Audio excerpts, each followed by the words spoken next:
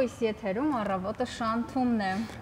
Շանթումն է պետք է դիտարկել բայ, թե պետք է դիտարկել որպես գոյական։ Թե որպես գոյական, թե որպես Եվ շատ լավ է, շանթել։ Այո, շանթում ենք առավոտից բարեկամներ, որպեսի ձեր օգտակար գործողության գործակիցը բարձրացնենք։ Հիշեցնենք, որ այսօր մայիսի 10-ն է, Տարվա 130-րդ օրը, այսինքն մնաց 235 օր։ Լավ էլի։ Լավ էլի։ Այո, ընդհանրապես 235 օր կարող ենք հետ հաշվարկանել եւ մեր ծրագրերը կյանքի հետ կապված, տարվա հետ կապված, այսպես վերաձևակերպենք wish list-ը, ցանկությունների ցուցակը թարմացնենք, գուցե ջնջենք այնպիսի ցանկություններ, որոնք օրինակ արդեն հասցրել ենք ի կատարածել։ Եվ միայն այդ դեպքում ջնջեք, ուրիշ բարագաները մի ջնջեք եւ մտածեք եւ երազեք ավելի մեծ։ Եվ մենք բարձր տրամադրությամբ սկսում ենք մեր աշխատանքը, իսկ թողարկման մեկնարկը նաեւ երաժշտությամբ պիտի ազդարարենք։ Հետո պատմելու ենք եղանակի մասին, ցույց ենք տալու, թե ինչպես լավաշից, մեր բոլորի կողմից սիրված լավաշից, քանի տեսակի նախաճաշ կարող ենք պատրաստել, դրանից հետո մարզվելու ենք, խոսելու ենք ամենաարդիական թեմաներից մեր հյուրերի հետ։ Մի խոսքով սա ավանդական սկիզբն է, ինչպես ասում են, default դեֆոլտը ավանդականի հոմանիշ կարող է լինել։ Այո։ Թե դե թող լինի։ Իսկ երաժշտությունը միշտ մեզ օգնական բարեկամներ, համեցեք։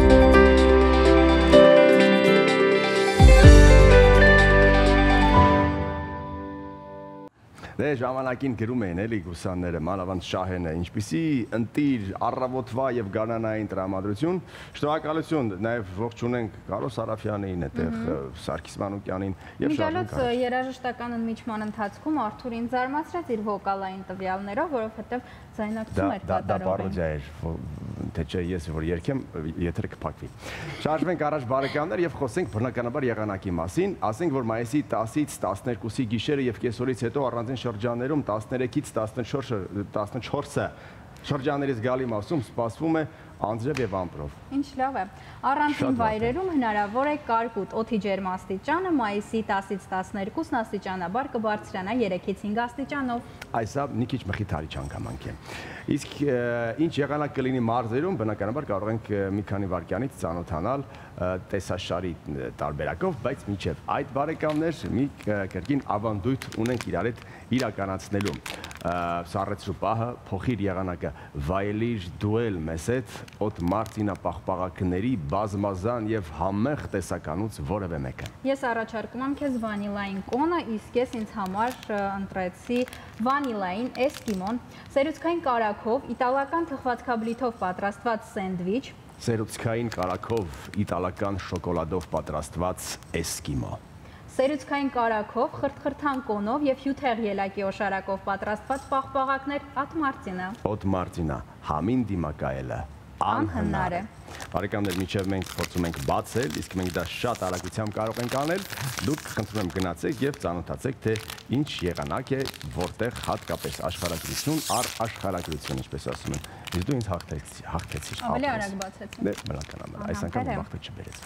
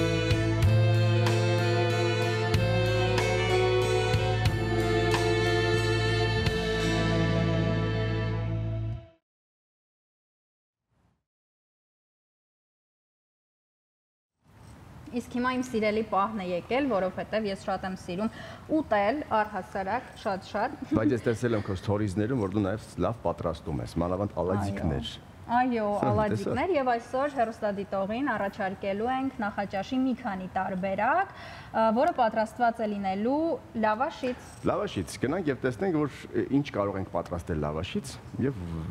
եւ վերջապես լավաշը ամենաունիվերսալ ուտելիքներից մեկն է։ Եվ շատ օգտակար։ Իհարկե։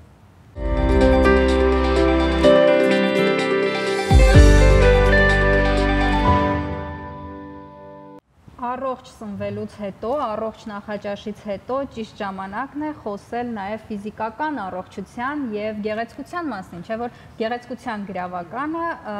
առողջ կենսակերպն է։ Եվ առողջ մարմնում առողջ հոգի։ Միշտ այսպես ենք ասել, իսկ այդ հարցում լավագույնս կարող է մեզ օգնել էներգիմի մարզիչները։ Նրանք այս առավոտ եւս մեզ կպատմեն այն մասին, թե ինչպես օրը անցկացնել լի էներգիայով առողջ ու գեղեցիկ։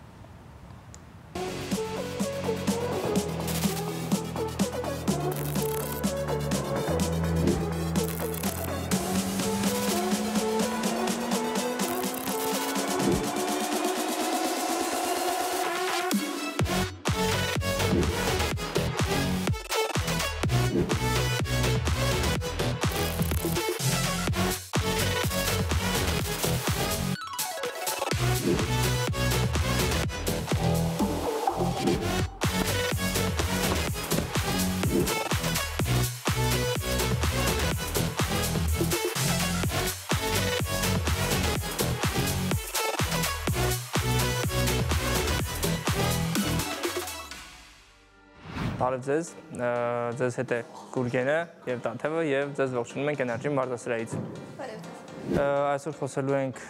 ոդքի մարզումներից, ավելի կոնկրետ նստատեղի եւ ազդրի հետեւի հատվածի համար նախատեսված վարություններից։ Ու առաջի վարությունը, որը որ կատարելու ենք, դա գետնի սպոկում կամ ինչպես հայտնի է բոլորին ծիագա կոչված վարությունն է, որը աշխատացնում է հենց նստատեղը եւ ազդրի հետին հատվածը։ Բարությունը կատարելու ենք 4 մոտեցում 15 անգամ, 15 անգամով։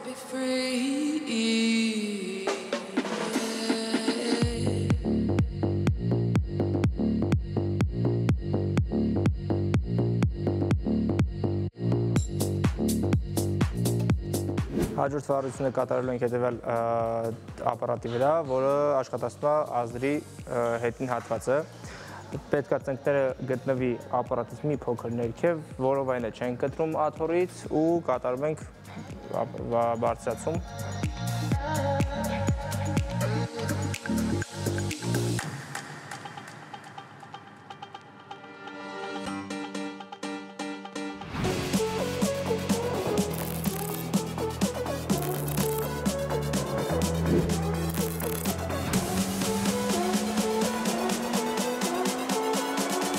Հաջորդ վարությունը ստեպերի վրա գանտելով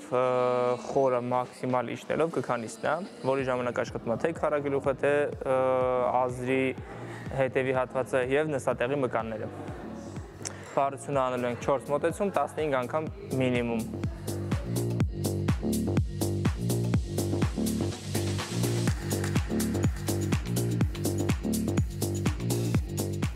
Այսօր գտնում ենք Energy մարզասրահում եւ ձեր հետ էին Գուրգենը եւ Տաթևը։ Ստեսություն։ Ստեսություն։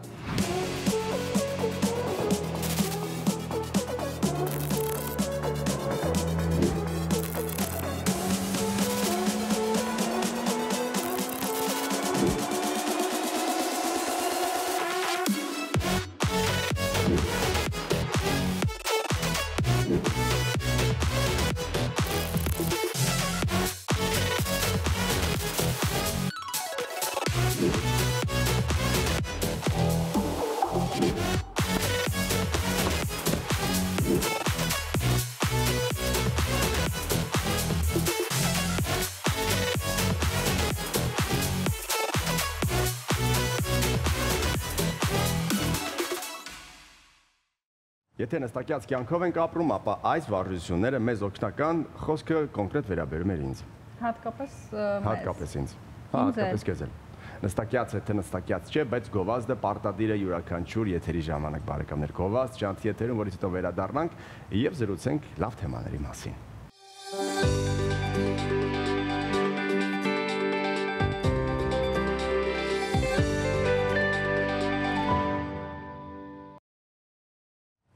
Բարի լույս բոլոր այն հերոստատիտողներին, ովքեր մեզ միացան այս պահին, իսկ ովքեր մեզ հետ են, շարունակեք մնալ մեզ հետ, իսկ այժմ խոսենք մեր գործընկերների մասին, ինքնատիպ ձեռագրով եւ առանձնահատուկ մոտեցմամբ աչքի ընկնող ավանգարդ ծաղկի սրահը, բացի իր թարմ եւ բազմազան տեսականին առաջարկում է իր ֆլորիստիկայի պրոֆեսիոնալ դասընթացներն ու մի շարք այլ ծառայություններ։ Ինչպես միջոցառումների պլանավորումներ, յուրօրինակ դիզայնի, քեյթրինգի, այնպես էլ վիդեո եւ ֆոտո ծառայություններ։ Ավանգարդը ունի երկու հասցե Սարյան 1 եւ Գայ Պողոտա 12 կոտորակ 10, բայց մեկ հեռախոսահամար 044-ով 779 778։ Մեր գործընկերն է Organicus մուլտիբրենդային խանութների ցանցը։ Խանութ սրահում տեսականին մշտապես թարմացվում է։ Եթե դիմել եք մազերի կերատինային հարթեցման, ապա Natura Siberica-ի մազի խնամքի նոր Super Siberica շարքը հենց ձեզ համար է։ Այն հրաշալի պահպանում է մազերի որակը, չի վնասում պրոցեդուրայի արդյունքը, իսկ գինը անհամեմատ էժան է։ Իսկ մայիսի 27-ին եւ 28-ին անակնկալ կա տղամարդկանց համար հավելյալ 20% զեղչ կգործի տղամարդկանց խնամքի բոլոր միջոցներ գնելու դեպքում։ Օրգանիկուսում յուրաքանչյուր հաճախորդ կգտնի իրեն հարմար խնամքի միջոցների լայն տեսականի։ Կօգտվի տարատեսակ առաջարկներից եւ զեղչերից։ Հասցեներ Dalma Garden Mall երկրորդ հարկ, Երևան Mall առաջին հարկ։ Հեռախոսահամարներ 095 055 62 53 02։ Facebook-ում եւ Instagram-ում Organicus գծիկ Armenia կարող եք փնտրել եւ գտնել։ Մեր հաղորդման գործընկերն է Energym Fitness ակումբը, ակումբը մատուցում է կոմպլեքս ծառայություններ երկու ընդարձակ մարզասրահով, որոնցից մեկը ընդհանուր է, իսկ մյուսը հատուկ առանձնացված կանանց եւ աղջիկների համար։ Նորագույն մարզասարքերով հագեցած սրահում ձեզ հետ կաշխատեն բացառապես որակավորված եւ հոգատար մարզիչներ, ինչպես նաեւ կարող եք օգտվել խմբային մարզումների, աղի սենյակի, շոքեբաղնիքի, սրճարանի, սպորտ բարի եւ այլ ծառայություններից։ Ձեր արդյունքը էներգի մարզասրահում երաշխավորված է։ Հասե Պարուսևակ 51 կոտորակ 2։ Իսկ մենք շարժվենք առաջ բարեկամներ, այս տարի Սարդարապատի հայոց ազգագրության թանգարանը 3 տոն ունի նշելու։ Լրանում է Սարդարապատի հերոսամարտի հիմնադրման 55 տարին, հայոց ազգագրության թանգարանի հիմնադրման 45-ամյակը եւ Սարդարապատի հերոսամարտի 105-րդ տարին։ Այս առիթով առաջիկա օրերին միջազգային մեծ գիտաժողով է կազմակերպվելու հայոց մշակույթի ինքնության հարցեր երևի թե վերնագրով Սարդարապատի հուշահամալների հայոց ազգագրության թանգարանի գիտական գծով փոխտնօրեն պատմական գիտությունների տեխնատու ազգագրագետ Սվետլանա Պողոսյանն է այստեղ մեր հյուրը։ Բարև ձեզ, բարի լույս, շնորհակալություն հյուրընկալության համար։ Նախ շնորհավորում ենք ձեզ երրա ձեր երրատոնի հետ կապված։ Եվ եկեք մի անգամից հասկանանք ինչ գիտաժողով է, ինչ ֆորմատով է կազմակերպվելու։ Արդյոք ճիշտ նշեցի վերնագիրը հիմնական։ Նախ խորագիրը հետևյալն է հայոց մշակույթի ինքնության հարցեր եւ 2023 թվականը մեր ցանկանի համար հոբելյանական է եւ շատ հետաքրքիր է որ այս միջազգային գիտաժողովին մասնակցում են մշակույթի տաճար համարվող հայոց ազգագրության թանգարանը եւ գիտության տաճար համարվող հնագիտության եւ ազգագրության ինստիտուտի գիտաշխատողները համատեղ կազմակերպված Գիտաժողովը կկայանա մայիսի 13-ին Սարդարապատ հյուշամալիր հայոց ազգագրության թանգարանում։ Կարծում եմ շատ խորհրդանշական խորագիր են կընտրել, որտեվ այսօր շատ կարևոր է հայոց ինքնության, հայոց մշակույթի հարցերի անդրադարձը եւ այն էլ միջազգային գիտաժողովի ձևաչափով առավել քան երբեք իմաստ ամենանի պիտի բարձրաձայնեն այս ամենի մասին բայց Տիկին Պողոսյան հայոց մշակույթի ինքնության հարցեր տպավորություն է որ երևի թե մի 2-3 ամիս գիտաժողովներ լինի թեման չի սպառվի ինչպես է Անշուշտ մեր թանգարանը իր 45 տարվա ընթացքում մի քանի գիտաժողով է կազմակերպել եւ բարբերաբար մենք անդրադարձ արել ենք հայկական մշակույթի, մշակութային ժառանգության հիմնախնդիրներին եւ ազգաբանական տեսանկյունից եւ թանգարանագիտական տեսանկյունից, այսինքն դուք իրավացի եք դա անսպառ է եւ բարբերաբար պետք է դա շարունակվի, որովհետեւ իրականում բավական խնդիրներ կան, որոնց անդրադարձը այսօր էլ խիստ անհրաժեշտ է, որովհետեւ մենք անդրադառնում ենք մշակույթի համակարգին, նրա մեջ եղած նյութական եւ ոչ նյութական մշակութային ժառանգության տարերի այդ դինամիկային շարժընթացին, այդ փոփոխություններին, անշուշտ նաեւ ազգային ինքնության խնդիրներին եւ շատ կարեւոր է որ այս գիտաժողովին մասնակցում են Ուկրաինից Ֆաուլեր թանգարանի ներկայացուցիչներ, որոնք հենց հայուհիներ են եւ այդ մեր մշակութային ինքնության խնդիրների մեր մշակույթի տեղափոխման այդ շարժընթացի գրողներն են ու շատ հետաքրքիր է անշուշտ նաև մասնակցում են օտարներ Լեհաստանից, Բուլղարիայից, Ռուսաստանից եւ իրապես քննարկվում են այնպիսի հարցեր, որոնք ուղղակիորեն առնչվում են հայկական մշակույթի եւ ազգային ինքնության խնդիրներին որն է մեր մշակութային ինքնությունը եւ ինչ ասել է մշակութային ինքնություն, հա? Ինքնությունը իհարկե տարբեր է լինում սոցիալական ինքնություն, մշակութային ինքնություն, ազգային ինքնություն եւ դա հենց ազգի ոգին է, այսինքն հենց դա այն է, ինչով մենք տարբերվում ենք գոտարներից այսինքն մենքի եւ նրանցի այդ առանձնահատկությունների դրսևորումը մենք ազգային ինքնության մեջ տեսնում ենք օրինակ Պողոսյան հազար ներողություն եմ խնդրում եթե դա մեր ազգային ինքնության կարևոր դրսևորումներից է դուդուկը որը գրանցված է ՅՈՒՆԵՍԿՕ-ի այդ ներկայացուցչական ցանկում եւս մեր ինքնության կարևորագույն դրսևորումներից է։ Այսինքն մենք ժամանակի ընթացքում անվարել ենք բավական ժողովրդական գիտելիքներ, հմտություններ, մշակույթի համակարգի տարբեր ոլորտներում եւ այսօր խնդիրն այն է, որ տեսնենք դա ինչպես է պահպանվում եւ ինչպես է ժառանգվում, որովհետեւ ժառանգություն ունենալը մեկ այլ բան է, դա պահպանել եւ հանրահրճակելը մեկ այլ բան, իսկ իրականում մենք այս ոլորտում բավական խնդիրներ ունենք։ Այ այ հենց այդտեղ է ուզում մի բան ձեզ կանգնեցնել, դուք ասացիք մի բան, խաչքար, դուդուկ, սրանք ինքնաբերաբար հոմանիշ են մեզ հայ, խաչքար, հայ դուդուկ բնականաբար նաև քրիստոնեություն։ Բայց հիմա մենք այնպեսի ժամանակներում ենք ապրում Տիկին Պողոսյան, որտեղ թվում է թե երկակի են դարձել արժեքները եւ մեր ոչ այդքան հաջող հարևանները ամեն բան սկսում են վերագրել իրենց։ Եվ նույնիսկ այս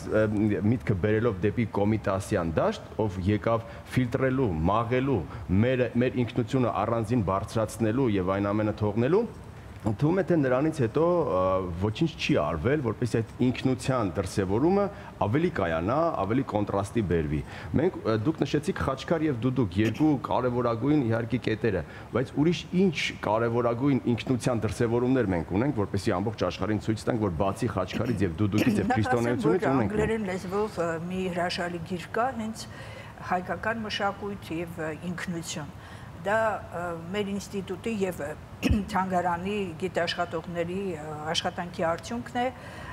Լևոն Աբրամյանի խմբագրմամբ եւ այնտեղ մենք հստակորեն ցույց ենք տվել, առանձնացրել ենք այն մշակութային տարերը, որոնք իրապես մեր ինքնության շատ կարևոր դրսևորումներն են։ Այդ թվում գորգը, ազգային տարազը, եւ ընդհանրապես արեստագործություններում եղած հմտություններ, որոնք մենք տեսնում ենք, որ այսօր հարևանների կողմից երբեմն երբեմն վիճարկվում է։ Ես համոզված եմ, որ ժողովուրդը ազգը եթե ինքը ստեղծագործող է, արարող է, ինքը յուրացնելու անհրաժեշտություն չունի։ Իսկ եթե դա բացակայում է, բնական է, որ պետք է աչուձախ նայես եւ փորձես այնպիսի կարեւորագույն մշակութային երևույթ, ինչպեսին գորգն է, փորձես սեփականել հենց հայոց ազգագրության թանգարանում պահպանվում են ավելի քան 2000 գորգ եւ նպատակը նա եղել ժամանակին 1983-ին պետք է գորգի թանգարանի մասնաճյուղ բացվեր եւ այդ խնդիրը այսօր եւս շարունակում է մնալ։ Եվ շատ հետաքրքիր է, որ հենց մեր գիտաժողովի շրջանակներում թանգարանագիտական այդ մասնաճյուղում հատուկ անդրադարձ կարվի նաև գորգարվեստին եւ այս ոլորտի խնդիրներին։ Այսինքն ըստ էության մասնագետները աշխատել են իրենց թեմայի տեսանկյունից փորձել բացահայտել թե ընդհանրապես այսօր իրենից ինչ է ներկայացնում թանգարանը դա տաճար է թե ֆորում է ինչպես պետք է վերաբերել 21-րդ դարի թանգարանին ես հպարտությամբ պետք է նշեմ, որ հայոց ազգագրության թանգարանը իր առաքելությունից ելնելով մեր մշակութային առանձնահատկություններին հատուկ անդրադարձ է արել։ Այ մենք 2008, 10, 12, 14 թվերին է, որ ՅՈՒՆԵՍԿՕ-ի կողմից ճանաչել են տվել այդ մշակութային արժեքները, բայց դրանք հայոց ազգագրության թանգանում ցուցադրվում են դեռևս 1978-ից։ Էլ չխոսենք դրանից առաջ նրանց պատմության մասին։ Այսինքն, քանի որ թանգարանի հիմնական խնդիրը մշակութային համակարգը ներկայացնելը իր նյութական եւ հոգեվոր հիմա ավելի շատ օգտագործում են ոչ նյութական տարերով դա արդեն ցուցադրում է։ Իդեպ եւս մի ուրախանալու հանգամանք, որ հայոց ազգագրության թանգարանում ի տարբերություն հայաստանյան մյուս թանգարանների իր առաքելությունից բխելով ներկայացված է հայոց ուտեստի համակարգը եւ այնտեղ ներկայացված է եւ լավաշը եւ հայկական համարում ունեցող կերակրատեսակները թեկուս մուլյաժի ձևով մենք այնտեղ տեսնում ենք հայկական խոհանոցի թակ համարվող ասենք տոլմա բաղադրատոմսեր այդտեղ գրված են, կարող են ծանոթանալ, հա, ճիշտ ենք հասկանում։ Մենք նման խնդիր իհարկե ունենք, ոչ բաղադրատոմսերը նույնիսկ երարեզու հրատարակ ենք եւ տրամադրենք մարդկանց նման ծրագիր կա եւ մեր թանգարանին կից հացատուն կա, որտեղ մենք մի քանի տարի առաջ այդտեղ կարծեք ցուցադրությունը շարունակում էինք այդ հացատանը, որտեղ մարդիկ կարողանում են հաղորդակից լինել մեր ազգային խոհանոցի առանձնահատկությունների։ Վերադառնալով միջոցառումների ցանկին, քանի որ ես ինքս նախատեսում եմ միջոցառումներին մասնակցել բավականին ակտիվորեն, ես նայում եի եւ տեսա, որ լինելու է տարազի ցուցադրություն, լինելու է այսպես փառատոն ծիրանափողի պատկերասր ազգային պատկերասրահից որոշ նմուշներ բերվելու են եւ ցուցադրվելու են, եթե ես ճիշտ հասկացա, այ ինչ պատկերասրահից։ Հա, ինչ ենք հա։ տեսնելու այցելում։ Ասեմ, որ արդեն իսկ մեր մայիսյան հերոսամարտերի ցուցադրությունը, դա հիմնական երկրորդ ցուցադրությունը, այդտեղ մենք համալրել ենք Հայաստանի պատմության թանգարանից այնպիսի առարկաներով, որոնք պատմություն ունեն։ Այսինքն այցելուն գալով մեր թանգարան հենց բան հերոսամարտի 105-ամյակի կապակցությամբ այդտեղ կտեսնի այդ ոլորտում շատ մեծ ներդրում ունեցած անձանց անձնական առարկաները այստեղ մենք կտեսնենք առաջին հանրապետության հիմնադիր Արամ Մանուկյանի հետ առնչվող առարկաներ իհարկե մենք հատուկ ստենդ ունենք իրեն նվիրված, բայց հիմա բերեն ենք անձնական առարկաներ, որտեղ դրանք բոլորովին այլ էներգետիկ ներգործություն ունեն։ Հովանես Քաջազնունու անձնական առարկաներն է, նրա աշխատասենյակում գտնվ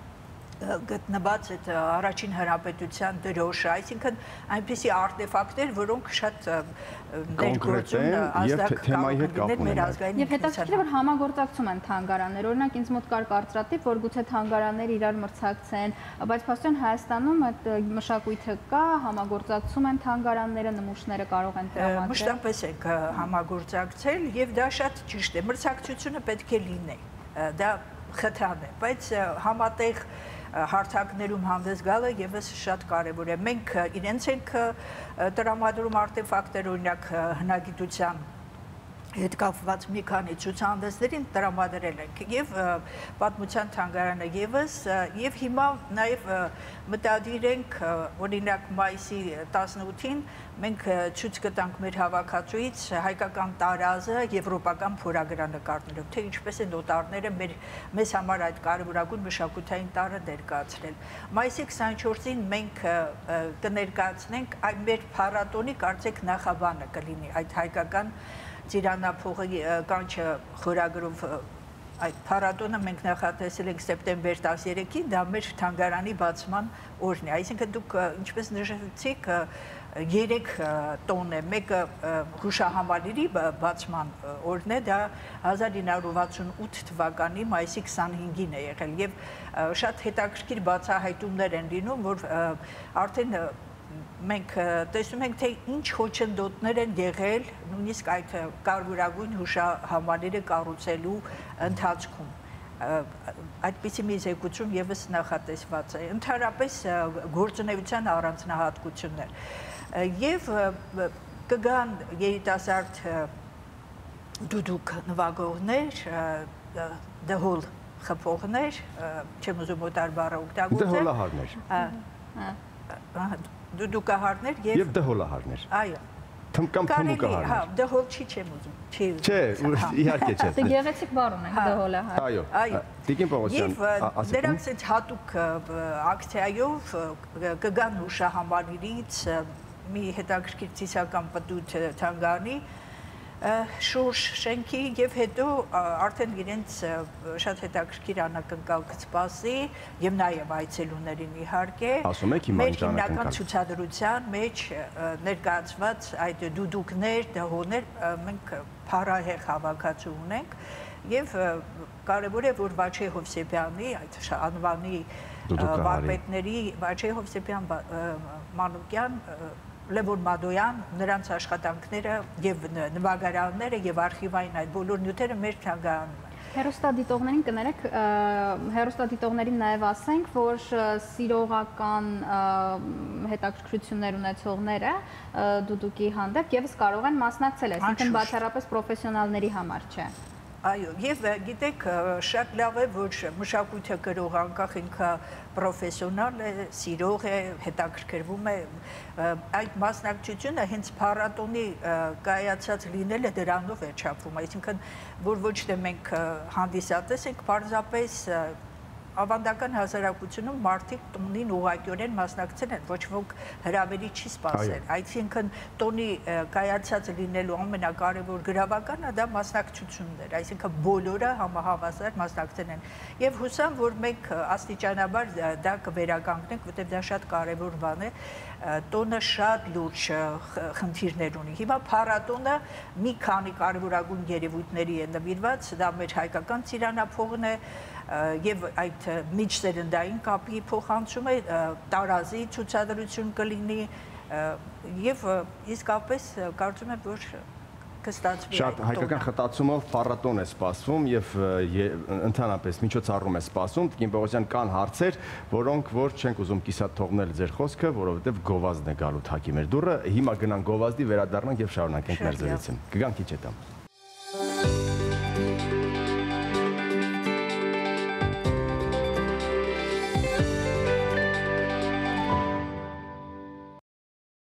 Վերադարձանք բարեկամներ, հիշեցնեմ զրուցում ենք Սարդարապատ հուշահամալիրի հայոց ազգագրության թանգարանի գիտական գծով փոխտնօրեն պատմական գիտությունների տեխնացու ազգագրագետ Սվետլանա Պողոսյանի հետ։ Տիկին Պողոսյան խոսեցինք գիտաժողովից, որ պիտի մեկնարկի մայիսի 13-ին եւ դրա մեկնարկով նաեւ այդ երեք կարևորագույն օրերի հիշատակում պիտի լինի։ Մի հարց խնդրում եմ, կասեք, այս գիտաժողովները նաեւ հանրահրճակման լավ տարբերակներ են եւ նաեւ երբ որ գալիս են օրինակ Լեհաստանից, Բուլղարիայից, Ռուսաստանից ինչպես նշեցիք, արդյոք մենք անդրադարձ ենք կատարելու նաև Արցախյան կողմում մնացած մեր կարևորագույն մշակութային արժեքներին, հատկապես գորգերի լայն այդտեղ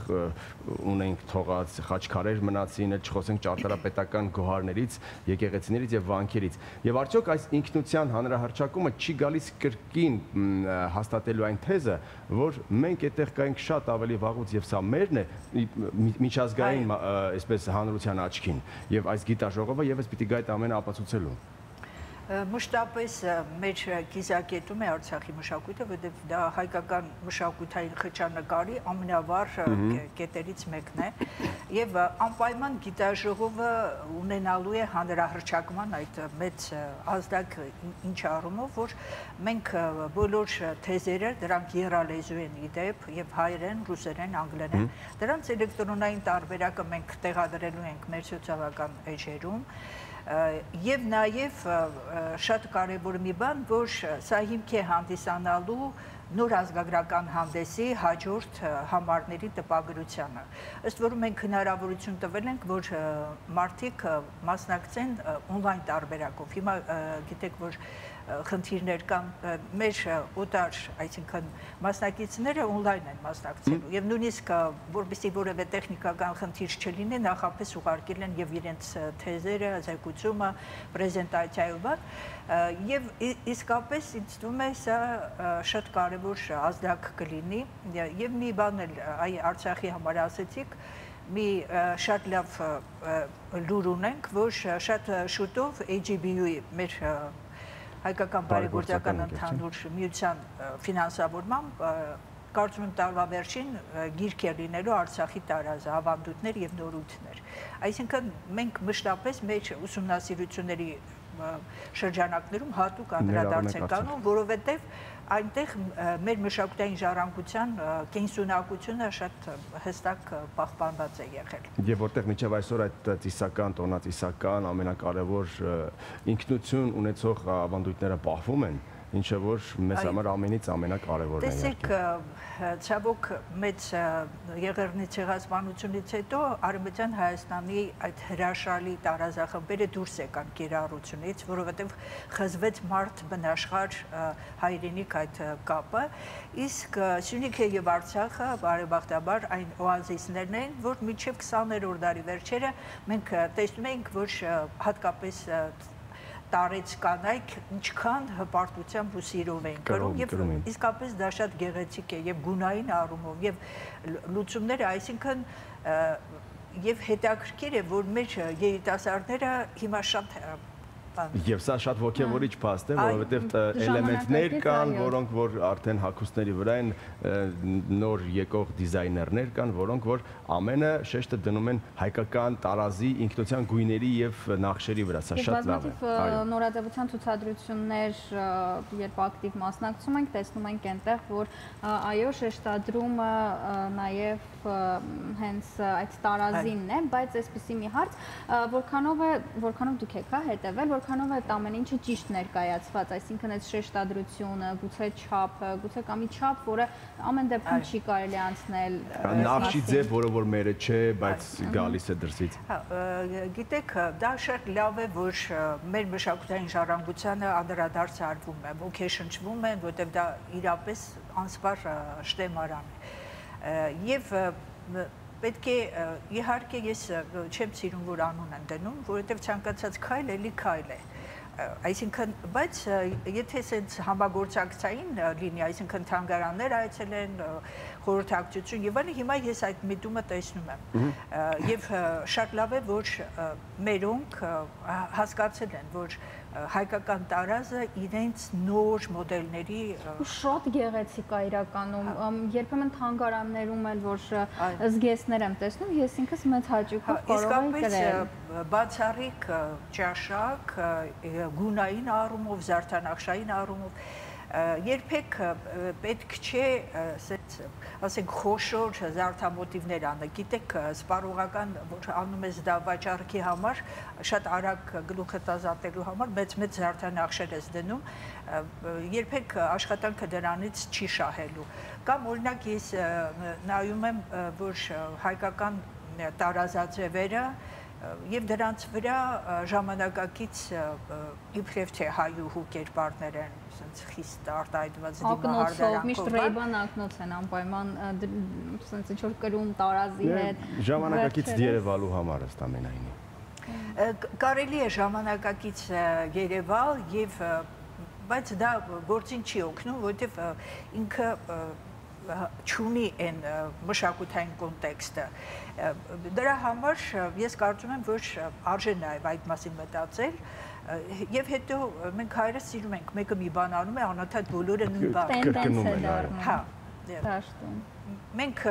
շատ բազմաշերտ եւ հարուստ մշակութային ժառանգություն ունենք, այնպես որ եթե ուղիղ անդրադարձանեն, երբեք մեկը մյուսին չի կրկնի։ Միանշանակ թեման ձեր մոտ լինելու է, չէ՞, կներես, ձեզ մոտ լինելու է ցուցադրություն տարազի, եթե այսպես շարունակենք։ Եվ մենք տարբեր դիզայներների աշխատանքներ ցուցադրելու ենք։ Իդեպ սա առաջին անգամ չէ, մենք 10 տարի շարունակ տարբեր դիզայներների աշխատանքներ մեզ մոտ ցուցադրում ենք։ Ժամանակակից հայ դիզայներ։ Այո, եւ ինչու ասենք Լիլիթ Մելիքյան, Գայանե Եղիազարյան, Շադոյան, իրենց հետ համագործակցություն կա եւ բարբերաբար ժամանակավոր ցուցահանդեսների ժամանակ մենք ցույց ենք տալիս ավանդականը եւ դրա կողքին ինչ կարելի է ստեղծել։ Եվ այս առումով իսկապես այդ փոխ համագործակցությունը շահավետ է հայկական տարած այդպիսի բաներ կա կազմակերպություն դրանց հետ էլ ենք համագործակցել եւ հուսամ որ այս անգամ եւս հետաքրքիր կլինի երբեք չպետք է մտածել որ պետք է ասենք ավանդական հագուստը մեր օրերում 21-րդ դարում հագնել դա հատուկ պետք է ստիլիզացիայի ենթարկվի հարմարեցվի հիմա բոլորովին այլ տենդենսներ ենք տեսնում բայց նույնիսկ մի փոքրիկ դետալ օգտագործելով դու կարող ես շեշտել գրողի ինքնատիպությունը։ Տիկին Պողոսյան, խոսում ենք մենք ինքնությունից ազգային, որտեղ որ շատ կարևոր է նիստուկացը կամ այլ կերպ ասած տոները, տոնացիսական տոները, հատկապես եկեղեցին եկապես ամենամեծ բայելու, երբ երկար տարիներ պետություն չունեինք Սարդարապատից հետո դեռ կխոսենք, նկատում եք արդյոք որ կամած-կամած հետ են վերադառնում այդ նույն եկեղեցական ուխտերը, որտեղ որ մարդիկ այդ ձեր ասած ներգրավում են այդ տոնի մեջ, չգիտեմ, այդտեղ եկեղեցական տարբեր տոներ կան, որ մարդիկ սպասում են թե երբ պիտի լինի, որ արդեն գնան եւ մասը կազմեն այդ տոնին, թե սա ոնց որ թե արտաքին շղարշն է, դե հիմքում բովանդակություն չկա։ Հաճախ ծաղկե պսակներով, այսպես գլխի պսակներով աղջիկներ կարող ենք տեսնել, ես էլ եմ իրենցից մեկը, իմ ամենասիրելի տոներից մեկն է։ Համբարձման, թե ծաղկը։ Չէ, ծաղկազարդի օրն է երևի։ Ծաղկազարդի օրն համբարձում։ Գիտեք, ուսումնասիրություններ այդ առումով արվել են եւ բարբերաբար էթնոսոցիոլոգիական եւ մենք տեսնում ենք, որ հատուկ վերածնունդ կա մեր տոնի նկատմամբ այդ խորթային բոլոր տոներին փոխարինել են եւ փոխարինում են, կարող եմ ասել, մեր ավանդական տոները։ Դրանք կարող են ժողովրդական տոներ լինել, եկեղեցական տոներ լինել։ Ես շատ կարևորում եմ մեր եկեղեցու դերակատարությունը։ mm -hmm եւ երբեմն հենց այդ եկեղեցական տոնակատարությունների ժամանակ ինձ ուրախացում են փաստը, որ հատկապես երիտասարդները բավական ակտիվ են մասնակցում։ Հիմա գուցե դա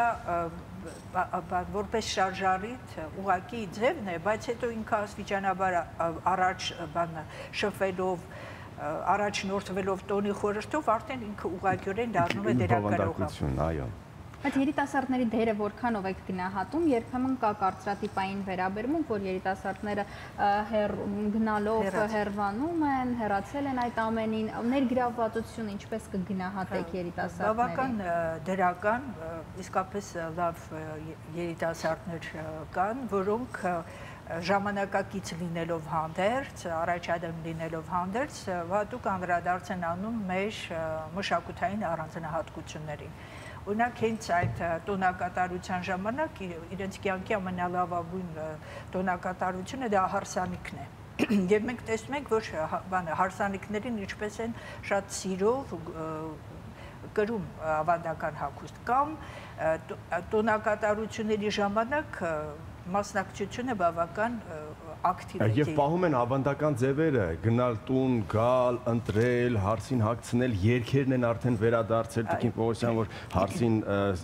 զգեստավորելու ժամանակ երգում են։ Իհարկե շատ գեղեցիկ։ Տունը գիտեք շատ մեծ էներգետիկ նշանակություն ունի, որովհետև ինքը բազմատար է, այդտեղ եւ տարաս, եւ ուտեստ, եւ սովորույթներ, եւ վարքագիծ, այս բոլորը կա։ Դրա համար է, որ դրանց ցանկացած վերադարձ եւ անդրադարձ նպաստելու է մեր ազգային ինքնության բարձրացման, ինչպես ասում են։ Տիկին Պողոսյան, Սարդարապատի հերոսամարտ, սա երևի ամենա ամենից ամենակարևոր թեման է մեզ համար։ Ինչ գիտենք սպառված է թեման ամեն մանրամասնություններով մենք գիտենք եւ վերջապես այս երեք կարևորագույն տոները տոներին անդրադառնալը արդյոք որևէ չտեսնված անկյուններ կան որ պիտի վերհանվեն եւ հա, հանրայնացվեն թե մենք ամեն ինչ գիտենք Սարդարապատի հերոսամարտի մասին երբեք ամեն ինչ չգիտենք ու դա շատ լավ է որ մենք այդպես առաջնորդվենք արդեն երկրորդ հիմնական ցուցադրությունն է մայիսյան հերոսամարտեր եւ իսկապես սա սրբազան դաշտ է մեր թանգարանը հենց գտնվում է Սարդարապատի հուշահամալիրի տարածքում իհարկե այդտեղ չի ճակատամարտայ եղել եւ բավական բացահայտումներ լինում են բավական մեծ գիծ է եղել այդ ճակատամարտը, բայց այնքան կարևորագույն դերակատարություն է ունեցել, նախ որ մեր մշակութային ժառանգությունը եւ մեծ ֆիզիկական բնաջնջումից փրկել է։ Այո։ Այսինքն Սարդարապետը իսկապես բացառիկ նշանակություն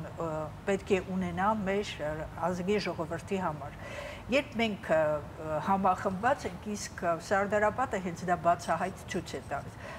մեզ չպետք է գոհացնեն բարոյական հաղթանակները։ Մեզ ռեալ հաղթանակներ են հարկավոր, այլ երբ մենք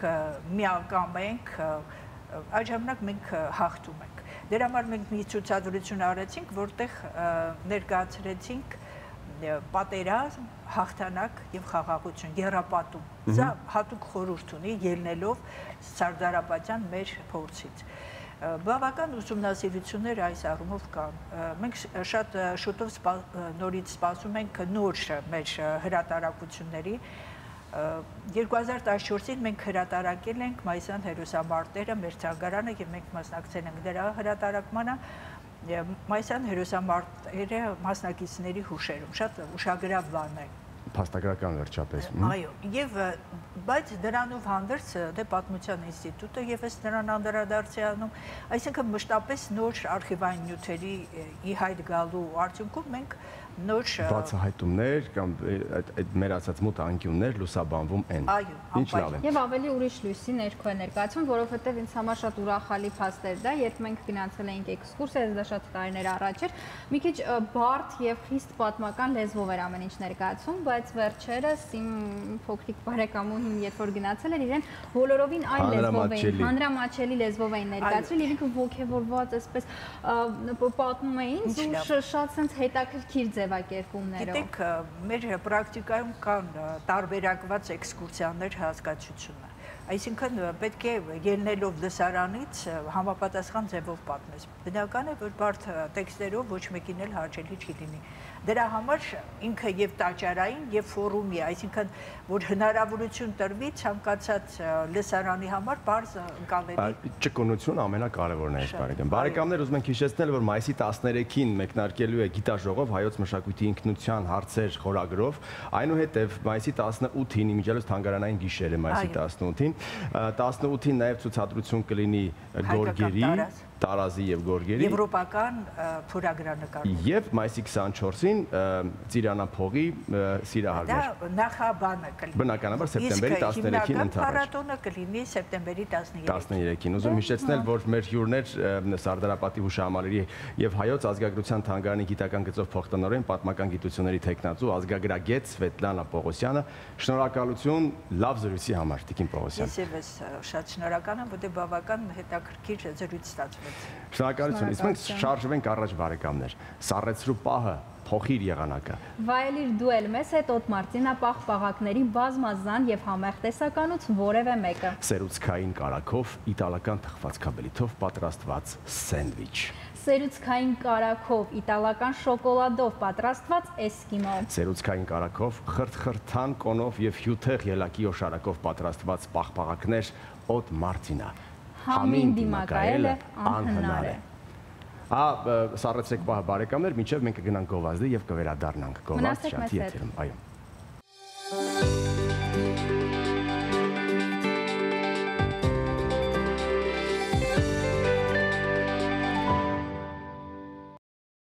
Վերադարձանք բարեկամներ եւ հիմա զրուցելու ենք մի խնդրի մասին, որ առանց չափազանցության ունի յուրաքանչյուր ընտանիք, յուրաքանչյուր ծնող, այդ թվում ես։ Ես չունեմ երեխաներ, բայց ես ինքս Բայց քո մայրիկը ունի այդ խնդիրը։ Այո, բայց ես էլ ունեմ այդ խնդիրը դե, սմարթֆոնից կախվածություն, բայց ամեն դեպքում թեման սմարթֆոնն ու երեխաները, ծնողները սմարթֆոններով աշխատում են, տեղեկություններ են ստանում, երեխան դա տեսնում է ու ձգտում դեպի նույն սմարթֆոնը։ Բացի առողջական լուրջ խնդիրներից, որոնց մասին ահազանգում են բժիշկները, սմարթֆոնը լուրջ ազդեցություն է ունենում երեխաների զարգացման փուլերի վրա, վարքագծի վրա նույնպես, իսկ ծնողները այսօր կանգնած են երեխա սմարթֆոն կապը կտրելու խնդրի առաջ։ Մեր հյուրն է հոկեբան, հոկեթերապևտ Հասմիկ Հակոբյանը, բարի լույս։ Բարի լույս։ Այո, սա իսկապես այն թեման է, որ յուրաքանչյուր ընտանիք ունի եւ միանգամից կարելի է կտրել այդ կապը եւ ինչպես կտրել, որպեսզի ցավոտ չլինի իսկապես շատ արդիական թեմա է, ինչը հիմա բարձրացնում ենք։ Կարելի է կտրել, ուղղակի այստեղ նախ մինչև կտրելը որպես վերջնարդյունք պետք է հասկանալ նախ ինչու է դա տեղի ունենում, ինչպես է տեղի ունենում երեխայի եւ սմարթֆոնի միջև հարաբերությունը, ինչ պահանջմունքներ է բավարարում երեխան տարբեր խաղերի միջոցով, հա, սոցցանցերում լինելու միջոցով եւ հասկանալ ինչպես վարվել, այլ ընտրանք, ինչպես առաջարկել։ Այսինքն ձեր առաջարկած տարբերակը մի տեսակ լսվում է փոքրինչ ագրեսիվ է հնչում, հա։ Ինչպես կտրել, ինչպես այսպես ուղակի պատ դնել ու արգելել։ Գիտեք ինչի նման է, որ երեխան կյանքի ինչ որ իր կյանքի այդ փուլում, հա, շատ կարևոր պահանջմունք է բավարարում վիրտուալ տիրույթում, այսպես ասեմ, հա, դա կլինի խաղ եւ սոցիալական հարթակ, եւ ծնողը մետաֆորիկ հասկանանք դա որպես թթվածնի դիմակ, որ ինքը ստանում է թթվածինը այնտեղից։ Եվ ծնողը ուղակի սա վերցնում է դիմակը ու դեն է նետում։ Պատկերացրեք երեխայի վիճակը։ Ինքը ասենք, չգիտեմ, անոտ տարածության մեջ է ու ինչ որ հակառակություններ Դուք ուղակի process-ը պատկերացրեք, որ ուղակի հանում է թթվածնի դիմակը։ Հասնում այդ հերախոսին, այսինքն ես շատ դեպքեր եմ տեսել, երբ երկու տարեկան երեխային հերախոսը այսպես դնում են շատ վառգույներ եւ ասում են դու սուս մնա, ես գնամ գործանեմ։ Այսինքն պետք է ինչ որ ձև երեխան երբ որ ծնվում է, բոլորս գիտենք, որ ինքը դեռևս ոչ իմանից գլուխ չի հանում եւ պետք է ինչ որ խթան լինի ծանոթություն, այսինքն երեխան այնպես չի դարձավ 3 տարեկան, գնաց ինքնուրույն վերցրեց հեռախոսը։ Պետք է ծնողի կողմից ինչ-որ խթան եղած լինի։ Գուցե ծնողներն են շատ հաճախ զբաղվում սմարթֆոններով կամ իրենք են ուղղորդում դա դաստիարակելու ինչ-որ հեշտ տարբերակ է։ է որ մեղքը այսպես գնդակը ուղարկում է ծնողների դաշտ։ Այդպես է ասում, թե այդպես չէ։ Եկեք մեղքը փոխարինենք պատասխանատվություն բառով։ Կամ էլ։ Դուք հոգեբան եք ավելի լավ գիտեք տերմինները, քան թե մենք։ Այո։ Ես փորձեմ ավարտել իմ նախորդ միտքը, մետաֆորիկա, երբ թվացնի մասին ասեցի, նկատի ունեմ, որ պետք է անպայման ծնող ունենա այլընտրանք, որ ինչ առաջարկի երեխային այդ թթվածնին փոխարինող։ Ինչ այլընտրանք ունի ծնողը։ Տեսեք, տարբեր են այլընտրանքները, հա, նախ պետք է երեխայի հետ ունենա հուզական կապ ծնողը, ունենա ջերմ եւ որ ամենակարևորն է վստահելի փոխհարաբերություններ արդեն իսկ կառուցված։ Դա շատ փոքրիկ տարիքից սկսված է, հա, դեռահասության շրջանում, որ եթե այսպես անջրպետ է ծնողի եւ երեխայի միջև չկա այդ հուզական կապը, դեռահասության շրջանում դա անհավանական է, որ մեկ էլ ստացվում են ընկերական ծնողը ինչ որ լինում է, չէ, որ ոնց որ տրանսֆորմացնում է փոխհարաբերությունները, ծնողի դերից դառնում է ընկեր, բայց այստեղ երեխան ոնց հանկալում է ծնողին ու ծնողը նեղանում է, որ ես հիմա քո հետ ընկեր եմ, դու ինձ չես ընդունում, բայց շատ մեծ անջրպետը։ Այստեղ եթե ծնողի մոտ չի ստացվում կոնտակտ ոնց որ կառուցել երեխայի հետ, շատ կարևոր է, որ ժամանակին դիմել մասնագետի ինչի մասին եք դուք ձեր հարցը բացահայտեցիք։ Այլ առաջարկելու համար, այլ ընտրանքներ։ Նրա մասին էր, որ երբ որ ճանաչում է երեխային, այսպես անհատական մոտեցումն է, ոչ թե իր սեփական պատկերացումները երեխային ինչա անհրաժեշտ, ինչը լավ կլիներ, հա, երբեմն սեփական ցանկությունները, երազանքները, որ չի իրականացրել, այստեղ մտածում է երեխայի համար լավ կլինի։ Շատ կարևոր է հասկանալ երեխան ինչ նախասիրություններ ունի,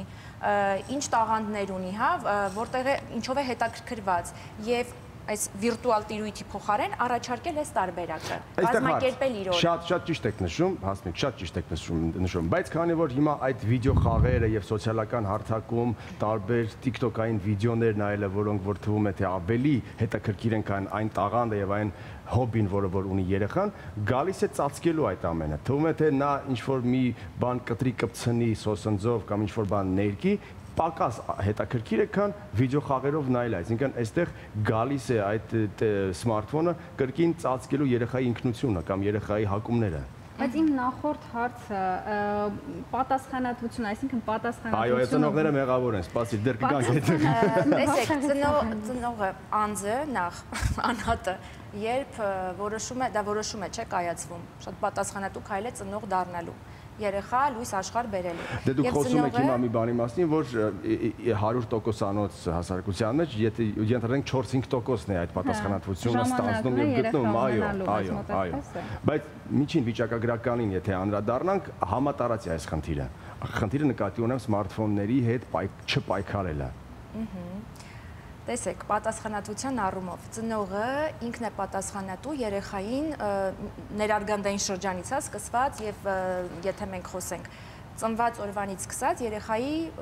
առօրյան կազմակերպելու, չէ, խնամքը տանելու ու կարծես թե ծնողը հենց այն գիդն է, որը որ երեխային կյանքով այսպես ուղեկցում է։ Ու ինչպես է ծնողը մատուցում երեխային կյանքը, երեխան այդպես էլ ընկալում է։ Երբ որ դուք ասում եք ինչ որ բան են դնում, ասենք կերակրելու երեխային ու միացնում են այդ սմարթֆոնը, ինչ որ մուլտ են դնում եւ այլն որպիսի ուշադրությունը գրավեն իսկապես համաձայն եմ խայտաբղետ են գույները հենց դրա համար արվում ա դա էլ է մարքեթինգ որպիսի գրավի գայթակղությունը ու կապ չունի տարիքը յուրաքանչյուր տարիքային շրջաբաժանման համար որոշել են ինչը ուշադրությունը կգրավի, ոնց կկարողանա ներգրավել ու ճակերտավոր կորցնել այդ տիրույթում, հա, երեխային։ Այստեղ շատ կարևոր է ինտերնետ կախվածության հետևանքը, հա, հասկանալ հոգեբանական, սոցիալական, ֆիզիոլոգիական, բժշկական առումներով։ Եթե մենք վերցնում ենք կերակրելու process-ը, երբ երեխային մանկահասակ, հա, դնում են ինչ-որ մուլտ, ուշադրությունը շեղում են ուշադրությունը պետք է այս տարիքում, երբ երեխան ուտում է, համային այդ ռեսեպտորները եւ այլն, հա, ակտիվանում են, շատ կարեւոր է համային ընկալումները ուղեղի զարգացման համար։ Հիմա ես այսպես չկենտրոնանամ ֆիզիոլոգիական ինչ որ վիճակների վրա, բայց այսպես է տեղի ունենում, բայց երբ որ ուշադրության անհրաժեշտ է ուշադրության ֆոկուսը այստեղ լինի, բայց երբ որ ուշադրության ֆոկուսը մուլտի վրա է, ինքը կորցնում է այս Այստեղ բաց է մնում, այսինքն ինչա տեղի ունենում օրգանիզմում, չի ընկալում, երեխան ներկա չի Սա է կարևոր նաև ծնողներին հաշվի առնել, որ կերակրելիս, ուտելու ժամանակ հակացուցված է որևէ այլ ինչ որ մի բանով երեխան զբաղված լինի վիզուալ առումով, հա, ուշադրությունը շեղելու։ Շատ ծնողներ կան, որ երեխան կամակորություն է անում, թվում է, թե չի ուտում եւ այլն, խափում են այսպես ասած, հա, ինչ որ բանով, այդպես վիզուալ, որpիսի կերակրեն, որ ինքը այնտեղ նայում է, միանգամից տեսնում ես գթալը բերանն են, հա, տանում ես երեխան չի հասկանում ինչ կատարվեց սրանք հետագա անձի զարգացման վրա շատ մեծ ազդեցություն են ունենալու։ Թվում է թե փուճուրիկ բաներ են, բայց իսկապես շատ կարևոր է սա հաշվի առնել։ Այսինքն երեխան չի գիտակցում, որ կուշտ է, գուցե գերսնում գերսնում լինի կամ հակառակը։ Տեսեք, հիմա եթե մեծահասակի մակարդակով նայենք, յուրաքանչյուրը ունեցած կլինեք այս փորձը, ես ինքս էլ այս փորձառությունը, երբ ուզում ես ինչ-որ ֆիլմ նայել ուտելու ընթացքում, ոչ ֆիլմից ես բան հասկանում, ոչ ուտելուց, այսինքն ուտելու process-ը դուրս է թռնում։ Դուք լրիվ ուշադրությունը կենտրոնացված է այդ process-ների վրա, որովհետև դուք ապրումներ եք ունենում, երբ նայում եք, չէ, տարբեր մտքեր են ծագում, բա այս process-ը որ շատ կարևոր է, ներկա չեք Էլուր մնաց երեխան, որ դեռ իր նյարդային համակարգը վերջնական ձևավորված չի ու այդ ընթացքում այդ process-ում է։ Ես մի ընկեր ունեմ, ով արկելել, չասեմ արկել, լիմիտ էր սահմանել 2 ժամից ավել չխաղալ օրվա ընթացքում եւ ասեց, երբ որ 2 ժամը ավարտվի հեռախոսը կտաս ինձ, հետո էլի ես քեզ 2 ժամ կտամ։ Եվ 2 ժամը պատասխանատվություն վերցրեց այդ երեխան 2 ժամ երբ որ ավարտեց, 2 ժամ հետո սմարթֆոնը տարավ տվեց տատիկին, տատիկը վերցրու, տատիկը վերցրեց, տվեցի արդեն 2 ժամ հետո տուր եւ միանգամից վերցրեց։ 2 ժամ հետո վերցրեց։ Չէ, չէ, տվեց միանգամից եւ վերցրեց, որտեվ 2 ժամը նրա սպառվել էր։ Այսինքն նա հասկացա, որ եթե ինչ-որ մի բան արգելել է, կարելի է եւ մի փոքր այստեղ մանևրել, մանևրել եւ գնաց հետաքրքիր, այսինքն նրա ուղեղը աշխատեց ստացվում է, եթե կա ինչ-որ մի խնդիր, որ պետք այդ խնդիրը պիտի լուծվի, նա սկսեց այդ խնդիրը լուծել։ Հիմա ինչ խորհուրդ այն ծնողներին, ովքեր որ լիմիտել չեն սահմանում։ Նախ հրաշալի օրինակ է, շնորհակալություն օրինակի համար, որպես այսպես դիդակտիկ նյութ։ Տեսեք, շատ կարևոր է ընտանիքում նույն ծնողի պատասխանատվությունն է երեխային սովորեցնել սեփական պատասխանատվությունը զգալ, վերցնել, հա, դա։ Ու այստեղ ես բառը կփոխարինեի արգելանքը, արգելել սահմաններով։ Այսինքն ոչ թե արգելում է ծնողը երեխային, այլ հստակ սահման է հաստատում։ Սա շատ կարևոր է, որpիսի երեխան զգա իր սեփական սահմանները եւ ուրիշի սահմանները։ Հետագայում արդեն մեծ կյանք մտնելով, հա սա սոցիալիզացիայի կարևոր process է։ Հետագայում մեծ կյանք մտնելով, որpիսի երեխան մաքսիմալ պաշտպանված լինի, կարողանա ռեալ, եթե պատկերացրեք պետության շրջանակներում, հա, սահմանները լրիվ բաց լինեն ու ասենք ով ինչպես կարող է գրոհել ու ինչ կուզի կանի այդ սահմաններում։ Նույնը մեր անձնական սահմանների մասին է։ Եթե մենք բթացած է մեր այդ կողմը, հա, մենք չենք զգում Այսինքն ինչի հաշվին է բթացած, որովհետև չեն սովորեցրել ծնողները։ Հաճախ ծնողներ էլ կան, որ իրենք են կոպիտ խախտում այդ սահմանը հա ոնց ուզում են այս պահին երեխան խաղում է պայմանավորվեցին որ մի ժամ պիտի խաղա մի ժամը չի լրացել երեխան հետևում է իրենք շատ հստակ են գալիս է ձերքից այսպես կարող է խլել հա այստեղ շատ կարևոր է հենց այդ սահմանները որ ձեր ծանոթը ընկերը երեխայի հետ եկել է դրան պայմանավորվածությունը որը շատ կարևոր է. Մենք ապրում ենք հիմա այն դարաշրջանում որտեղ վիրտուալ տիրույթն է որտեղ առհասարակ գadgetներից օգտվելը նույնիսկ անհրաժեշտություն է հա եւ պիտի նաեւ դրական կողմը այստեղ տեսնենք միայն բացական չի երեխային տեսեք իդի շրջանակներում իդի ժամանակ ինչ տեղի ունեցավ on-line ուսուցման անցան, չէ, արցանց։ Ու շատ երեխաներ մեծ դժվարություն ունեցան, քանի որ չգիտեին ոնց ոնց որ դրա հետ գործ ունենան։ Եվ այստեղ կարևոր է, որ հենց մանկահասակ տարած տարիքից սկսած երեխային սովորեցնեն, բայց սա արդեն հստակ նպատակադրված է, որ ինքը սովորում է դրանք օգտագործել ու կոնկրետ հմտություն ու գիտելիքա ձեռք բերում։ Ոչ թե դա ուղակի ժամանակի վատնում է, ռեսուրսների վատնում է եւ նաեւ վնաս է բոլոր առումներով։ Հիմա, եթե երեխային տրվում է հնարավորություն գadgetով, հա, ինչ որ մի բան անելու, ծնողը պիտի հստակ պայմանավորվածություն ունենա երեխայի հետ, առհասարակ այսպես հետազոտություն կա, որ 3 ժամը թույլատրելի է, բայց ոչ թե 3 ժամ անխտիր հենց էկրանի առաջ նստած է, այլ պայմանավորվում է դաթարներով, այսինքն կես ժամ հիմա դու այս խաղը կխաղաս, դու դիր իրան ստոպ արա կամ չգիտեմ դաթարի վրա դիր եւ ուղղակի շրջի սենյակով գնա մի բաժակ ջուր խմի, ուղղակի լվացվի, հա, որպեսի ուշադրության ֆոկուսը շեղվի երեխայի, անընդհատ նույն տեղում չլինի ծնողները հաճախ այդ գadgetները վերցնելու կամ երեխաներին վիրտուալ տիրույթից դուրս բերելու ձևերը գիտեք շատ ագրեսիվ կոպիտ են անում այսպես դասատուի դերից հա փայտիկով մենք հիշենք Տեր Թոդիկի կերպարը այսպես հա որը որ կրկնակի ավելի բարդ է դարձնում երեխայի համար կտրվելու հեռով։ Դա տեսեք ինչ տեղի է ինչ ինչ է տեղի ունենում այս շրջանում։ Երեխաները սիրում են ազատություն, իրենք չեն սիրում ենթարկվել։ Հենց իդեպ երեխաները այդ բունտն են, չէ՞, անում, որ սեփական ինքնությունը 3 տարեկանից սկսած երեխան զգում է իր ինքնությունը, ինքը պայքարում է, որ ես ինքս, ես սա ինքս կանեմ, ծնողները հաճախ դա շփոթում են կամակորության հետ, բայց կարող են սահմանափակել, բայց այնինչ ինքն իր եսն է զգում, ուզում ուզում է ինքնաիրացվել, ինքնարտահայտվել այդ կերպ, հա։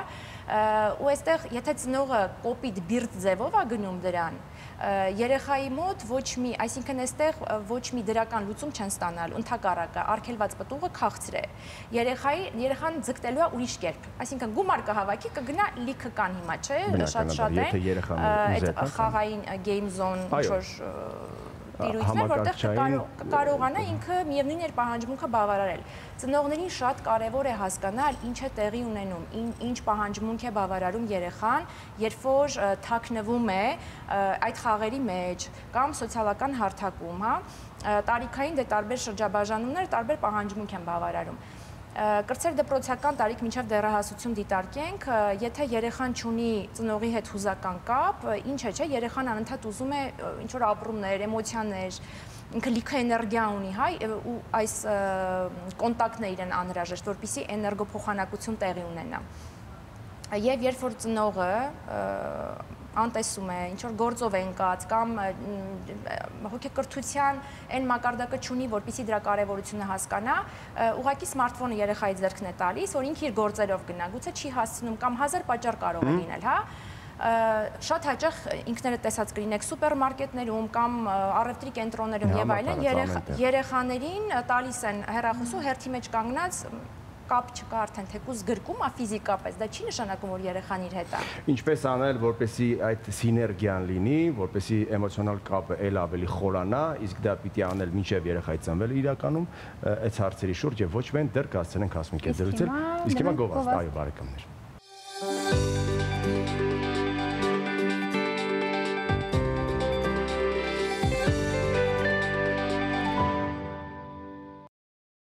Եվս մեկ անգամ ասենք բարի լույս մեր։ Ես ամեն գովազդից վերադառնալուց ուզում բարի լույս ասեմ բոլոր հերոստատիտողներին։ Եվ թող բարին լինի, եւ թող բարին լինի նաեւ մեր զրույցի մեջ, որը որ շատ ծնողների, տատիկների եւ մայրիկների համար, ինչու ոչ նաեւ հայրիկների եւ պապիկների, մեր հյուրն է հոգեբան հոգեթերապևտ Հասմիկ Հակոբյան, ու մենք զրուցում ենք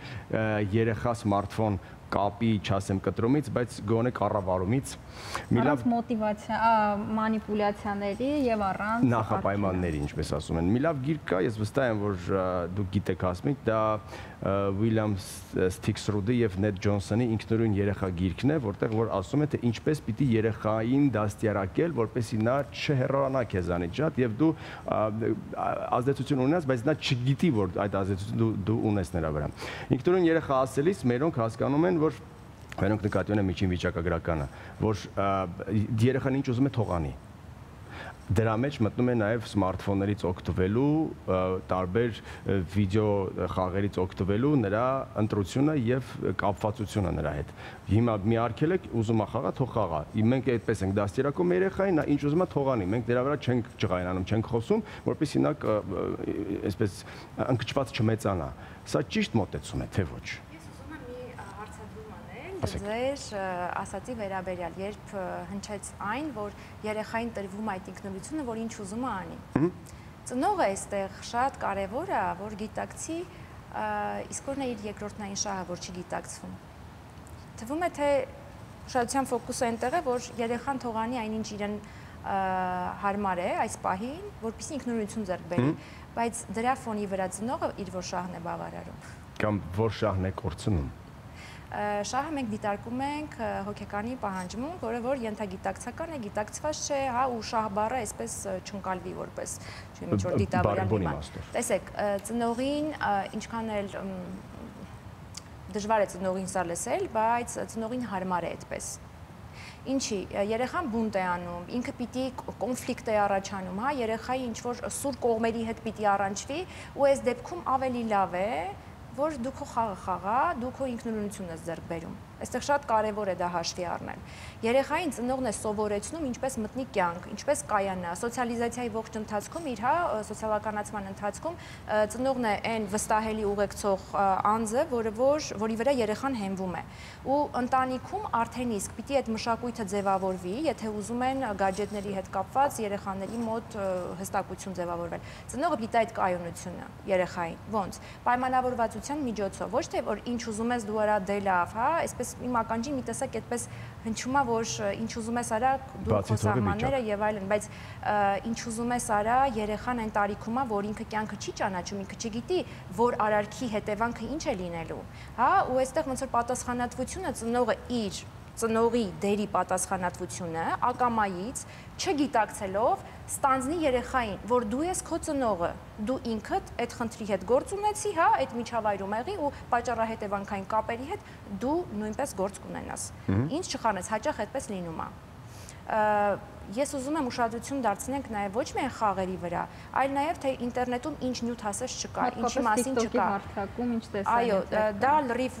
ուրիշ ոնց որ պատմություն է, իսկապես դա չգիտեմ, ինտերնետ կախվածությունը դա հիմա հիվանդություն է համարվում, որովհետև հետազոտությունների արդյունքում պարզվում է, որ ուղեղի նյութը Չէ, մոռացա, չէ, չէ, մոռացա հետազոտության անունը լավ, կարևոր չի։ Մի խոսքով ուղեղի այդ ալիքները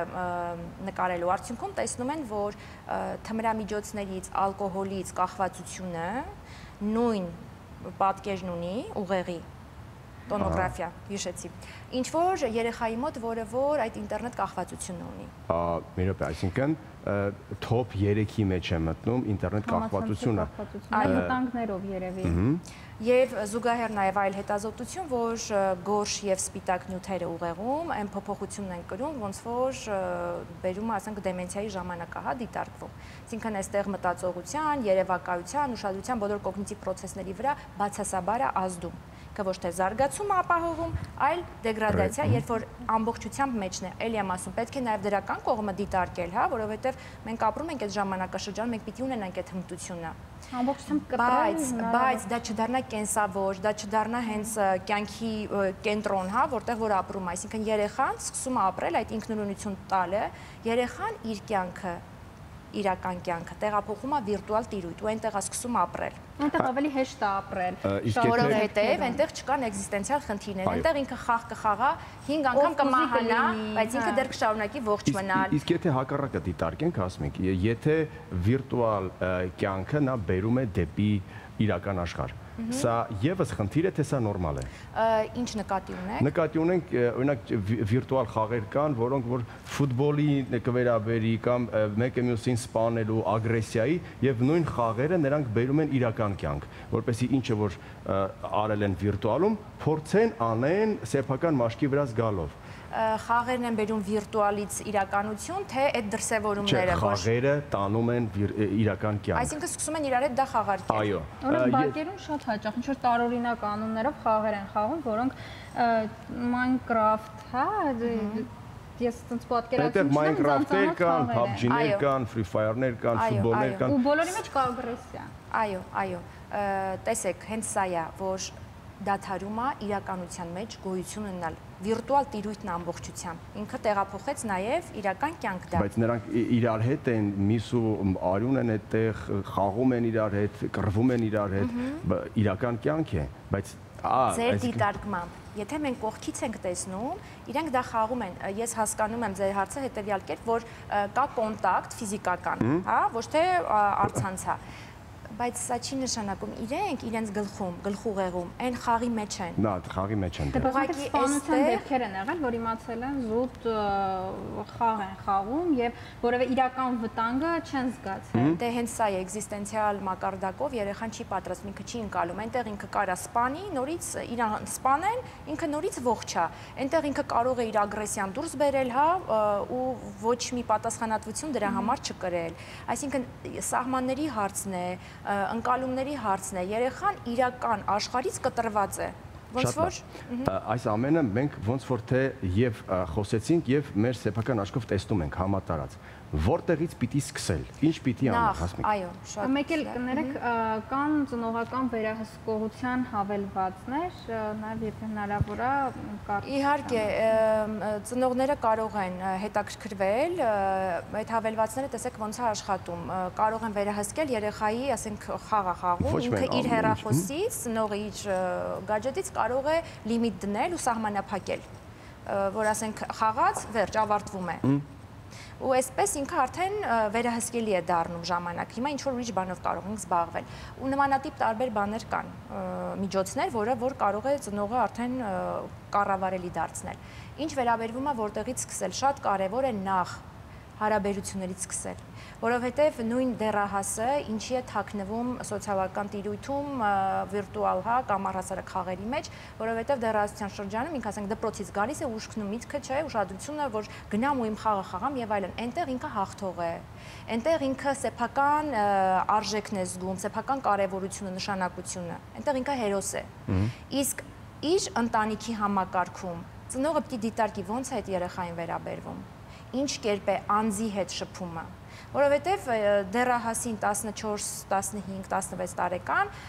ծնողը կարող է նույն 3 տարեկանում ոնց շփվել է հետը շարունակել այդ կերպ, հա, որ դու ասենք կարող է ամփոփ լինել խոսքի մեջ, անհարգալից լինել, բայց ոչ թե դիտավորյալ անի,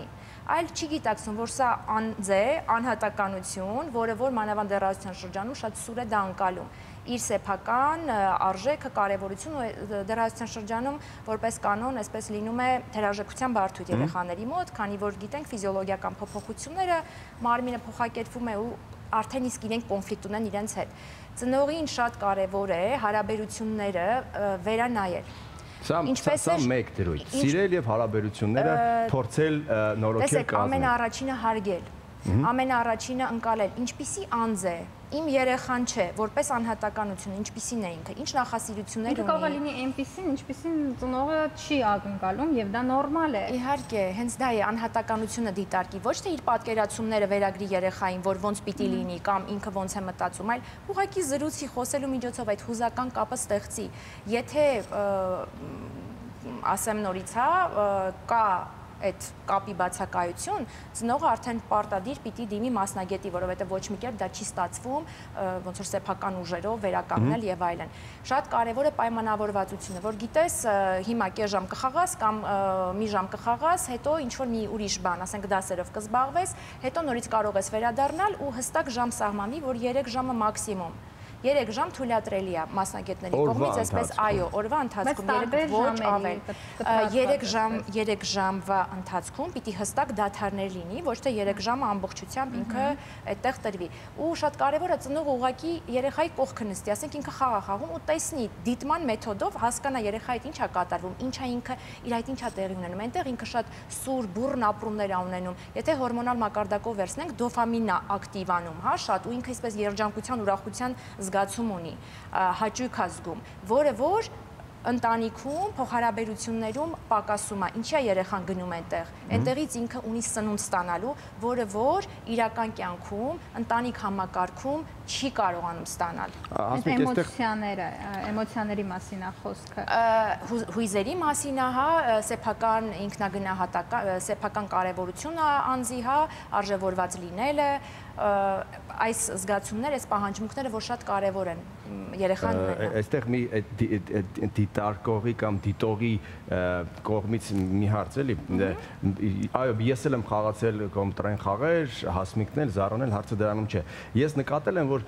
երեխաների շատ շատերի մոտ նրանք ոչ թե խաղում են, այլ դիտում են, թե ինչպես է երկրորդը խաղում։ Սա ինչ է իրենից ենթադրում, ինչ վտանգ կա սրա մեջ։ Ճիշտ է։ Բայց ընդհանրապես անհասկանալի է։ Այսինքն ինչ որ մեկը խաղացել է, screen recording է արել, իր խաղացածը ձայնագրել եւ դրել է ենթադրենք որևէ սոցիալական հարթակ։ Եվ հիմա նրանք մտնում են նայելու թե ինչպես է նա խաղացել, ոչ թե նայելու թե ինչպես պիտի անցնել այդ աշխարհը, ոչ, նայում են թե ինչպես է նա խաղում եւ հիմա կոմենտների անում ընթացքում խոսում է մի խոսքով յուրաքանչյուր ծնող, այսպես ես ընդհանրացված կդժվարանամ պատասխանել, որովհետև յուրաքանչյուր երեխա իր ինչ որ պահանջմունքն է բավարարում, դրա համար ծնողը ինքը պիտի նստի երեխայի կողքին, ոնց որ թիմային, հա, միասին նայում ենք, ոնց որ կիսում եմ քո հետաքրքրությունը, նաև սա է օգնում երեխային մտերմանալու, մոտիկ գալու, կառուցելու ջերմ, վստահելի փոխհարաբերություններ, որ ես կիսում եմ քո հետաքրքրությունը այսպես ու հարցեր տալու ընթացքում, հա, ինչա հիմա քեզ սա տալիս, ինչ ես զգում, ուշադրություն կենտրոնացնել, ինչ ես զգում հիմա, որովհետև այդտեղ երեխան ուղակի զոմբիացված վիճակում է, ինքը ուղակի հետևում է ինչա տեղի ունենում։ Ինքը իր սեփական ֆիզիկական ներկայությունը դադարում է զգալ Եվ այստեղ վտանգը նրանում է, որ լիքը բացական process-ներ են սկսելու երեխայի մոտ, հա, սեփական ներկայությունը չի զգում այդ այդ տեսակ, այսինքն ինքը ոչ թե ինքն է հաղթահարում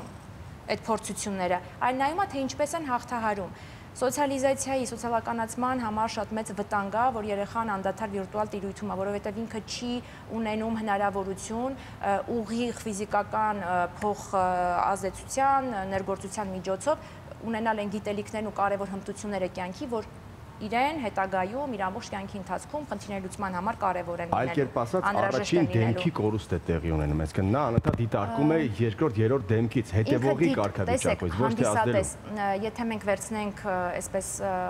անուն տանք, սիմվոլիկ հանդիսատեսի դերից է մարդ կյանքի մեջ մտնում ու ինքը ներգրաված չի, ինքը հաղորդակից չի, ինքը ուղակի դիտում է։ Այսինքն ինքը իր կյանքը այսպես նստում է եւ տեսնում է թե ինչպես է անցնում։ Ավելի լավ է խաղան, եթե համեմատական անցկացնենք։ Ես այստեղ չարյաց փոքրագույնը խաղալն է։ Ես ես այստեղ ես այստեղ ոչ մի բան կարիք չունեմ անելու, որpիսի եթե մենք հոգեբանական մասով նայենք, ենթադրում եմ, կարող է լինել սեփական մեղքի զգացումը, որ ես սա չարեցի։ Հա, իմ մոտ չստացվեց սա խաղալ, չանցա ու ինձ պատժեմ, որովհետև երեխան ինչ են նյարդայնանում, ինչ են այսպես դյուրագրգիռ դառնում եւ այլն, որովհետև խնդիրը դրված իրենց արժե ու իրենք չեն կարողանում դա հաղթահարել։ Հետո այո, այդ պարտության զգացումը սեփական անձի մասին պատկերացումը չէ ձևավորում ինքնագնահատականի վրա է ազդում, որի մոտ չստացվեց թերաժեկության բարդույթ հազար բան կարող է լինել։ Այս դեպքում հակառակ կողմը երեխան որ դիտում է, մենք չենք նայում ինչի է դիտում մենք նայում ենք փոխհարաբերություններում ծնող երեխա ինչա տեղի ունենում, որ այս երեխան ընտրել է այս ոճը։ հա այսինքն ինքը մեկն է որ որը որ ենթադրում եմ էլի հա որպես վարկած որ սովորա ծնողի կողմից թելադրված լինել այստեղ նստի էս արա այսպես շնչի այսպես ծիծաղի այսպես խոսի հա ու ինքը սովորա հենց այդ կերպա մտնում փոխազդեցության մեջ։ եք թեման այնպեսի այնպեսին է, որ դեռ խոսենք ու խոսենք, բայց ցավոք սրտի մեր ժամանակը ավարտվեց։ Շնորհակալություն նախորուրդների համար, կարծում եմ ականջալուր կլինեն մեր հերոստատիտողները եւ հիլիահույս լինենք, որ ամեն բան լավ կլինի վիրտուալ տիրույթից դուրս։ Այո, իսկ հիմա գնանք եւ դիտենք գովազդ։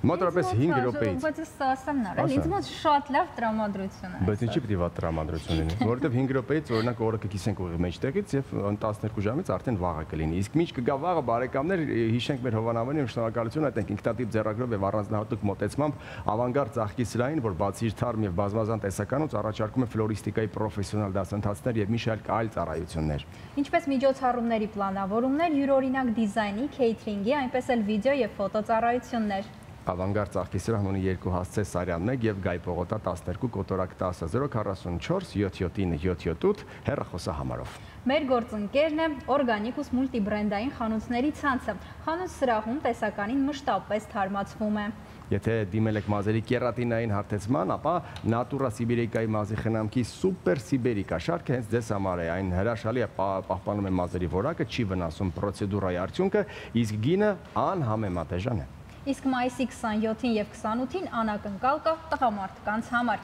Հավելյալ 20% զեղչ կգործի տղամարդկանց խնամքի բոլոր միջոցների դեպքում։ Օրգանիկուսում յուրաքանչյուր հաճախորդ կգտնի իրեն հարմար խնամքի միջոցների լայն տեսականի կօգտվի տարատեսակ առաջարկներից ու զեղչերից հասցնել Dalma Garden Mall երկրորդ հարկ, Երևան Mall առաջին հարկ, հեռախոսահամարներն էլ Զառանկասի։ 095 62 53 02 055 62 53 02 Նրանց կարող եք գտնել նաև սոցցանցային հարթակում Instagram-ում եւ Facebook-ում Օրգանիկուս գծիկ Արմենիա վերնագրով Մեր հաղորդման գործընկերն է Energy-ում Fitness ակումբ, ակումբը մատուցում է կոմպլեքս ծառայություններ երկու ընդարձակ մարզասրահով, որոնցից մեկը ընդհանուր է, իսկ մյուսը հատուկ առանձնացված է կանանց եւ աղջիկների համար Նորագույն մարզասարքերով հագեցած սրահում ձեզ հետ կաշխատեն բացառապես որակավորված եւ հոգատար մարզիչներ, ինչպես նաեւ կարող եք օգտվել խմբային մարզումների, աղի սենյակի, շոքեբաղնիքի, սրճարանի, սպորտ բարի եւ այլ ծառայություններից։ Ձեր արդյունքը Energy մարզասրահում երաշխավորված է եւ կարծում եմ երաշխավորված էր ձեր լավ տրամադրությունը նաեւ վաղ առավոտից, ինչպես Զառան նշեց,